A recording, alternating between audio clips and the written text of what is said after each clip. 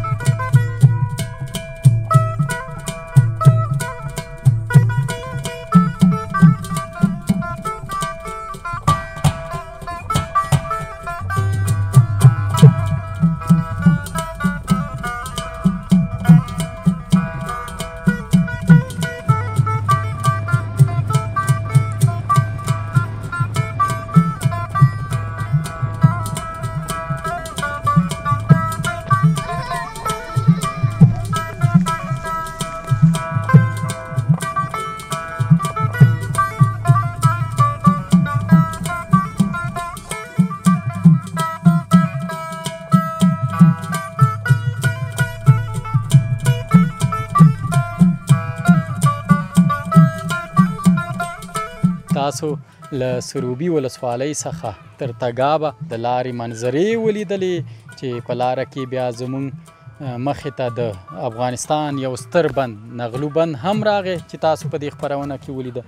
افغانستان له خدایي نعمتونو څخه ډیر برخمن دی لکه څنګه چې مونږ او تاسو وینو د کال له پیله تر پایه پورې دلته په بیلا بیلو سیمو بیلا بیلو ولایتونو کې بیلا بیلې میلې وي چې لدې وړاندې به تاسو لیدلی وي چې ننګرهار کې د خټکیو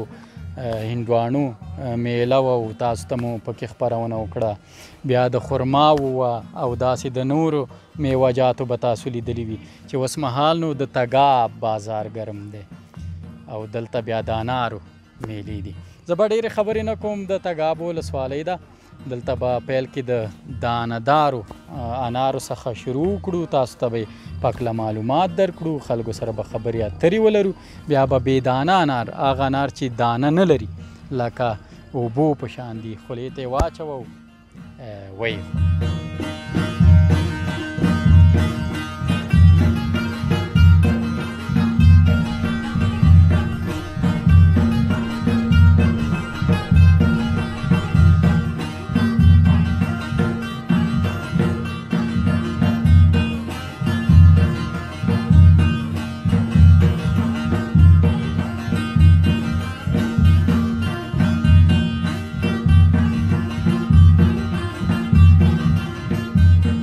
را سره ولاړ مرزایی صاحب دی چې د تګاب ولسوالۍ د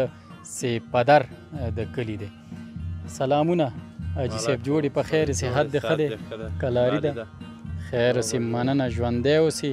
که دا راته ووایي چې دغه باغ ستاسو خپل دی هو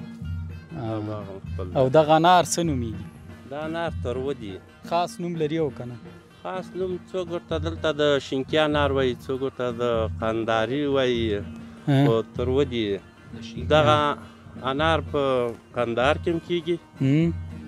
او په تګاو کې د قندار انار چې دي د پاسه د ډولي زیات دي او دا بیا مزه کې هغه دي مزه کې پیدا خوند باندې مزه کې باندې بې دانه خو نه دي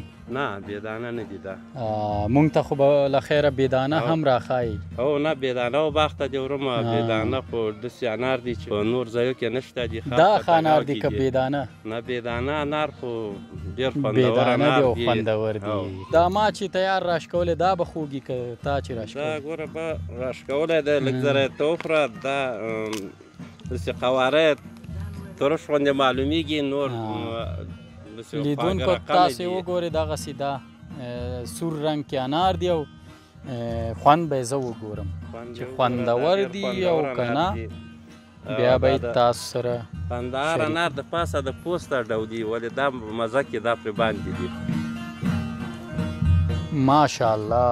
دا خو هیڅ خوند نه کوي نه دا دې بس دا ستا خوله کې که مالګې سره بیا خوند کوي دا مالګې سره هلته چې میده یې کې مالګه پرې واچوې قاشوګې سره چې اوري کې خورې هم یو ځان ته خوند لري د اوبو غاړه کې ناست یو ځي کې اوبه هم داسې بهیږي رواني رواني بیا ډېر خوند کوي ځکه یې ما ته خوند رانه کړ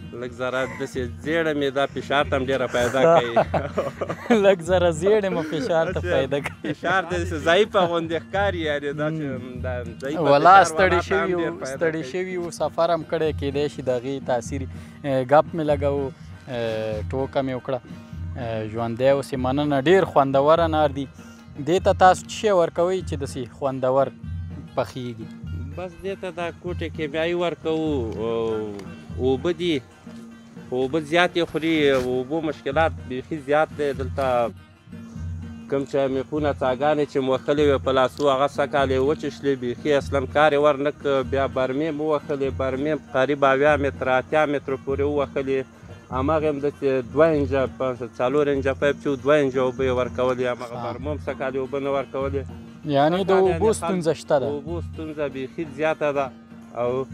یو ستونزه بل هم د دې کرم لري نو دغه دوا هیڅ رقم هغه نه شوه دا کرم نه ورکېږي هر څونه خواري دهقانان کوي بس دا کرم نه ورکېږي سمه ده حاجي صاحب مننه کور ودان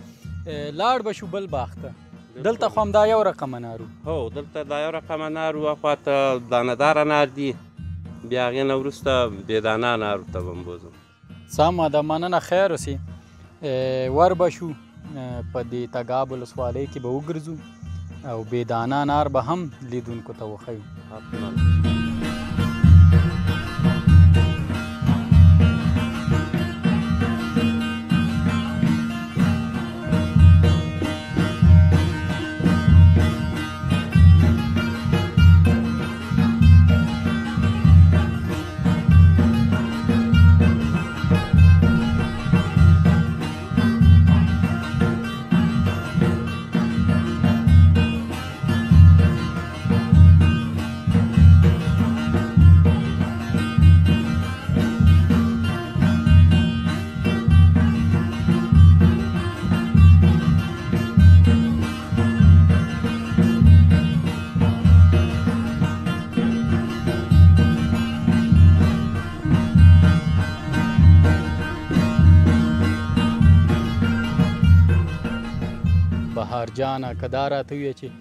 دغه انار ټول بې دانه دي کنه دا ټول بې دانه دي او دا بې دانه باغ دی ډېر غټ باغ دی ټول بې دانه انار دي خاص نوم لري بیا غیر د دې نه چې ورته بې دانه ویل کېږي نه همدغه نوم دی بې دانه انار دي همدا بې دانه او څومره وخت کېږي دغه ونې په دغه باغ کې تاسو خپله کرلي دا به دېرش کاله کېږي چې موږ کرلي دېرش کاله کېږي چې کرلې هم دي یعنې دا ونې دېرش کلنې دي دېرش کلنې دي او ستاسو عمر بیا څومره دی یاره زمونږ یوویشت کاله یوویشت کاله ستاسو عمر دی او د دې ونو عمر دېرش کاله دی دا له تا څخه هم تقریبا نهه کاله لوی دی لوی دی په عمر کې البته دا بيدانه انار په نورو سیمو کې ولې نه کیږي چې دلته کیږي یار دا د هوا پورې هغه لري کوم ځای هوا ښي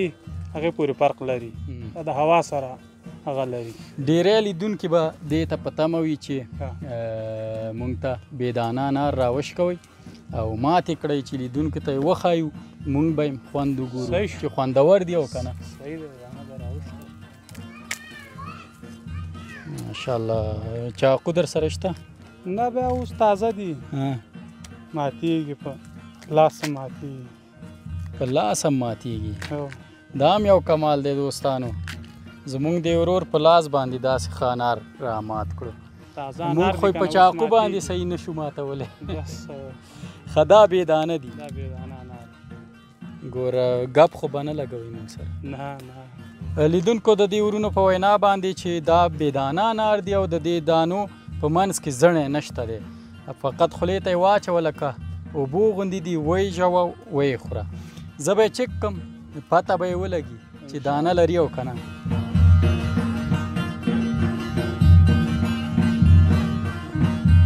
دا خو دانه لري که نه مونږ سره هم ګپ ولګوو نه ښه صحیح غټې غټې دانې لري کوم زره خو باتمن لري نو ونې نه ولای دا نو داونه خو نه زه یې نه منم دا بې دانه نه دي دوستان مونږ سره یې ګپ لګولی دی خو دانهدار به هم درته د لومړی شو کېږو دانهدار به مونږ لرو د هغې به دانې سخت خو دانهدار خو به هلته ولیدله بل باغ کې څنګه دانه چې هغې درلوده دی هم لري ولې مونږ ته ګپ راکړو مونږ هم دومره په تکلیف کړو هلته یې موږ ته ویل چې بېدانه انار یا بل باغ ته ورشئ بس نو اوس دلته راغلو دام دانه لګ حتما نو دا باغ دی نو هونې نه ولیدي حتما نو دغونه دانه خو نه ګپ لګوم ګپ لګوم دانه نه لري ډېر خوندور انار دي خواږه انار دي واقعا چې بې دانه انار دي.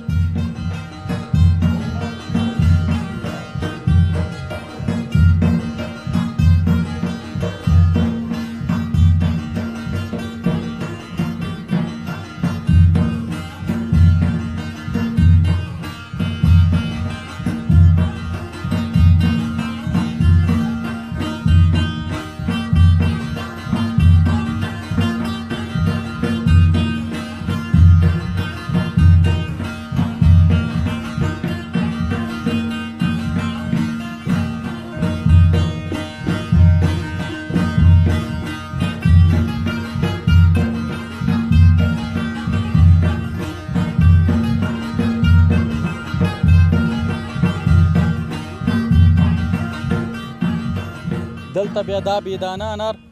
په دې حاجي صاحب باندې پلورل شوي دي او دا باغ به د دې محترم حاجي صاحب دی حاجي صاحب ستړی مه شي جوړې په خیر صحت دې ښه دی کلاري ده شکرت کور ودان مننه ژوندی اوسې خیر اوسې که دا راته وی چې دا انار دی په څو واخیستل په خیر تاسو موږ نه موږ هم خوري که حل را نه اخلي غږ دې رسو او هم به موږ ته معلومات راکړي چې اوس مهال ریښتانګي سره زمونږ خو د مسلمانانو د دروغ نشته دروغ نشته څه چې حقیقت یې هغه به وایي ما خپل خو دروغ رواج نه دی بالکل بالکل خپل د وط... اول د اسلام او بیا د وطن په غم کې دا خپل او نه خپل ځان په غم کې هم نه د اسلام په غم کې او بیا د وطن په غم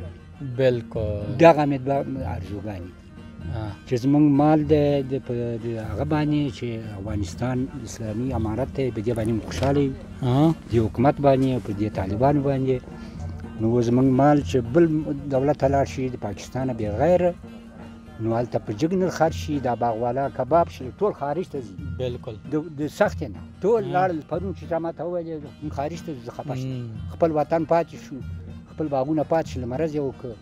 او څوک د خپل ملک او د هغه باغساس نه کوي نه پیسې پسې مونږ یو شي د ځکه چې د گزاران نه کی بالکل دغه څه وجه ده ستونزه څه ده جی صاحب ستونزه دغه ده چې موږ مال دلته په قیمت اخلو الته کالدار ده په 300 او یا و کې درې کم او یا و کې هیڅ رقم ته نه پرکې او چې دالته خرچي کې په 2000 ما ته تمام دي په 28 تا ته تمام دي ما تجارت خزه کوم چې تجارت او زما هم دا کسب ده همدا کسب همدا کسب دی بل کسب وسه زه نه کوم ځان باندې دغه د مې خپلوان دی هغه مې دی اوس د دې غم هم خورم د ځان هم خورم دومره سخته را باندې ده چې نور حد نشته دا د ښځباني نه دی دا د سختې ورځې نه موږ دا تجارت کوو بالکل چې موږ ته نفقه پیدا شي الله له نفقه داسې نه چې حرام نو چې زمونږ مال داسې ملک ته لاړ شي چې موږ سره حکومت کومک وکړي چې هلته په قیمت خرج شي باغوال ته یې وکړي او موږ ته یې وکړي حکومت ته یې وکړي نو دا به ډېر ښه کار یعنی ستاسو غوښتنه دا ده چې تاسو پاکستان ته چې دغه مال صادروي دې کې تاسو ته ډېرې ستونزې دي ستاسو تاسو چې په کوم نرخ باندې دلته انار اخلئ له دې څخه یې په کمه بیه هلته خرڅوئ آلته په کومه بیه خرڅوي پاکستان نه غیر بل هیواد ته ستاسو د مال ولې زمونږ مال وارد شي نو چې آلته پیسې جګي او زمونږ مال محصول پر کم راشي موږ سره مراد حکومت وکي یا نور دولتونه وکي نو دا به ډیر ښه بالکل ان شاء الله چې دا استاسو غږ به اوریدل کیږي دا قصې چې وکي نو د دې نه غټ خدمت وطن ته بیا نو بل به همي خدام غټ خدمت یعنی تاسو دا انار دلته افغانستان ته خو نور ولایتونو ته خو نه وړي اوس مهال دلته څه خړای نشي نه شي خړای دا ولې نه شي دا قیمت دي کنه موږ خپل نه شي خړای زه سوجار ما قیمت دي یا خوراک سخت نه سورا خوراک خو به درک مزه کوي زه خپل تجار دروغ درته نه ما خو ول زه دروغ نه دا دوم نه انار ماش کولی ما روغ انار نه دی خړای دغه سړی مې خپل دروغ دي نه زه دې باغ ته راغلی ما هلته مې انار ته لاس کړو دغه روغ شکو ما دې زه چاودلی لا نه سکو ما ته خو روغ چې چاودلی خپل باغ کې چاودلی خو ځکه چې دا ډېر د قیمت انار دي ډېر قیمت انار دي ته پنځوس زره دوه کم پنځوس زره انار واخله دا یو دانه په څو روپۍ مې ته وغورځېده زه خو وایم چې په ښار کې داسې انار بیخي کم پیدا کی ښار کې دا خړې څوک نشي یو کابل کې کدا شي سړی ځکه اقتصادي ستونزې دي آلته اقتصادي ستونزې دي دا شي او خارج کې شي خو پیسې جګره بالکل دا خبره منم خیر اوسې حاجی صاحب کور ودان ژوندې اوسې په دې هله چې تاسو دا غوښتنې پوره شي دا قسم وایي حاجی صاحب ته څنګه جوړ خوې شکر خدای فضل دی مننه دا که راته ووایي چې څنګه وو سږکال حاصلات په دغه باغ کې دي دغه باغ څو جریبه دی او څومره حاصلات یې ترې واخیستل دغه جریب باندې موږ نه پوهېږو نو جریب خو ښایي دوه درې جریبه به یي ښه دغه تاج دا لرو چې دغه ته کیمیایي وي چې ورسېږي په اسانه سره موږ دې ته ورسو دا لکه کوټ کیمیایي دا حکومت کومک وکړي یا په قیمت ارزانه راکړي راته او دغه چنجای لري د بیخ نه دغه باغونه ټول خراب کړل چنجای لري چنجای لري دا غي لپاره څه پکار دي خو چې دوا که پیدا شي یعنی خارج نه راشي موږ ته کومک وکړي یعنی تاسو اوس مهال داسې دوا نه لري نه لرو نه څنګه تر اوسه تاسو سره داسې مرسته نه ده شوې په دې برخه کې نه نه بیخي نه ده شوې د اوبو ستونزې څنګه دي د اوبو بیخي نشته یغدار ماشین نه دي هغه هم تېر قیمته دي موږ ته بیخي رسېدګي نه کوي یعنی توان بیچاره سړي لا نه کېږي سږکال قیمت تېر شو ور تېر شو دا خالی تیل هم لګول تیر کال په پرتله سکاله حاصلات کم حاصلات خو خو پیسو په زور چې قیمت وړي د پیسو په زور یعنی تاسو په ډیر مصارف ډیر مصارف مو کړ دغه مصارف مو په وبو کړل وکړل نور نور هم دا د کیمیاوي ورکول دا دوا چې ورنه کې نه کېږي نو دا مصرف دا دوا او د تیلو مصرف پرې راځي بالکل نو دا چې حکومت موږ سره کومک وکړي او زیات مصرف دغه تورخم ستونزه ډېره ده چې مونږ ته دغه هر وخت یو مې بند دي کله خلاص کله بند دي مال مونږ خراب شو دا خو اداره نه کیږي نو چې بند شي خرابېږي دا انار دلته یعنی افغانستان کې دومره نه خرڅول کیږي نه کده نه بازار ته وړاندې کیږي خو دلته ټول خپل لري یو بازار ته داسې دلته څوک نه اخلي نه کده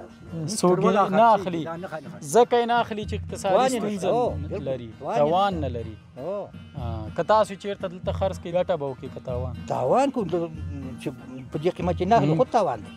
ښه یعنی تاسو غوښتنه هم دا ده چې تاسو سره د اوبو په برخه کې مرسته وشي او همدارنګه هغه کیمیاوي کیمیاوي دواګانې او مواد او نور دغه د چنجي کم کم کوو خو دا موږ ته ډېر یعنی په دې هیله چې د دې حاجي صاحبانو د دې باغدارانو یا بڼوالو دا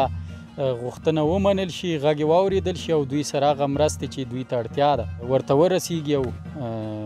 دغه برخه کې ورسره ډیر همکاري وشي مننه حاجي صاحب بانو کور ودان ژوندی اوسې خیر اوسې مننه حاجي صاحب دا هنر به هم زما لپاره دا د ما ته ډالۍ راکړه ډالۍ د دې نه مې ستانه مې راواز خو چاودلی بېدانه دی بېدانه دی که نه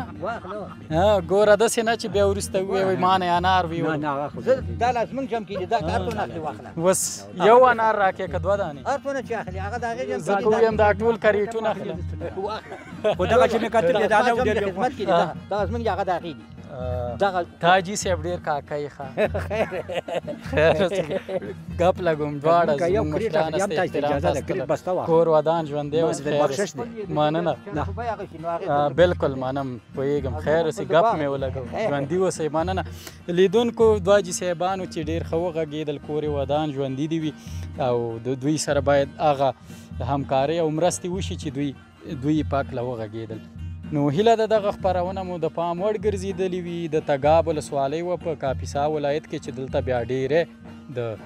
انارو باغونه یا بڼونه دي چې د تګاب انار بیا خاص نوم لري هله د دا خبرونه مو د پام وړ ګرځېدلې وي دغه خبرونه دي ډالۍ وي زمونږ یو تن لیدونکو ته په امریکا کې چې د غوي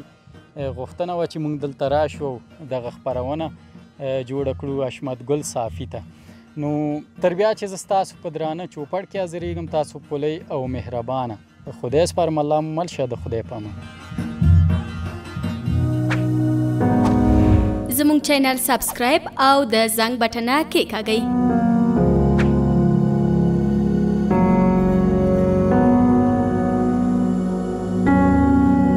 له خپل ویډیوګانو څخه خوند واخلئ